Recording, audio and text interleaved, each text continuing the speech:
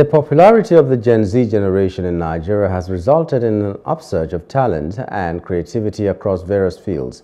They are breaking barriers and challenging the status quo in various industries including business, technology, entertainment and fashion.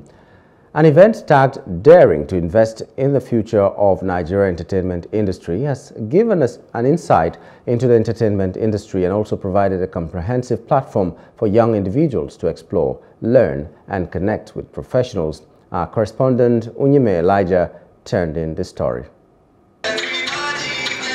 Young people have gathered here at the JF Ade Ajayi Auditorium, University of Lagos, UNILAG, to get useful insights at the third edition of the Gen Z Initiative in Nigeria, GINN 3.0. The event had a multitude of enthusiastic Gen Zs underscoring the growing interest of the younger generation in Nigeria's socio-economic transformation. The theme of GINN 3.0 was daring to invent the future of the Nigerian entertainment industry. It featured nuggets from esteemed personalities within the Nigerian entertainment industry such as Charles Inojie, Hilda Dokubo, and Ali Baba, among others. It also had a panel of discussants who delved into practical strategies for navigating the entertainment industry, honing creative skills, and projecting a positive global image for the Nigerian entertainment sector.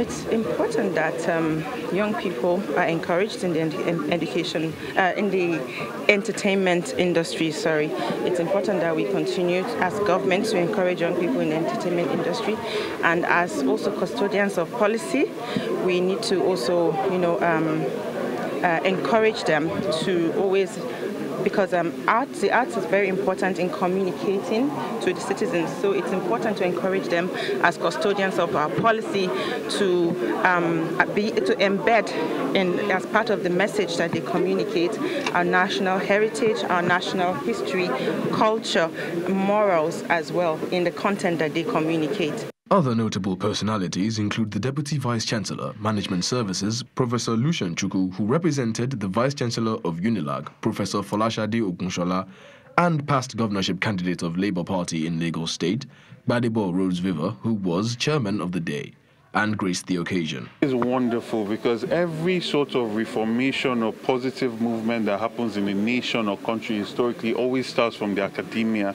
and the academic institutions, from the thinkers, right? And assembling young people um, like this to sort of give them guidance and direct them is the way to go. Um, in most developed countries in the world, this is what is done. And I'm very excited always to be part of anything that involves lifting up um, the youth in our country because truly they are the future and they are the present. And the world is not like how it has ever been before because now everybody is connected. And there's so much that can happen based on that connectivity.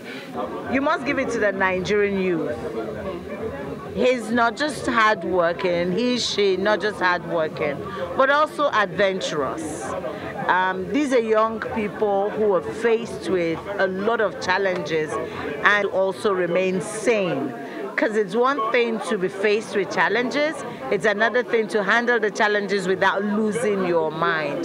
So I'd say um, they dominate the scene really. And, and um, you know, for a place where you really don't have a lot of grooming grounds, and then you have these young people daring and not minding to learn, fall rise, fall rise, but create um, a career for themselves and be part of the industry. I, I think we should um, actually, you know, commend them. There's, there's this thing about being a youth. Uh, the bursting energy that is naturally uh, quartered in that uh, demography, if you do not trap it and nurture it, harness it for positive use, either by the community or the state at large, it will be used negatively, either against the community or against the state. So that is why whoever has thought of this, and incidentally, this is the brainchild of some young chaps, uh, is, is, is, is something that anybody should strive to, to support. The Gen Z initiative in Nigeria is a social impact program which strives to inspire active participation among the youth, particularly the Gen Z, in the molding of a better future for Nigeria by mobilizing for positive action in pivotal sectors such as education, health, business and entrepreneurship, politics, entertainment, technology, and innovation.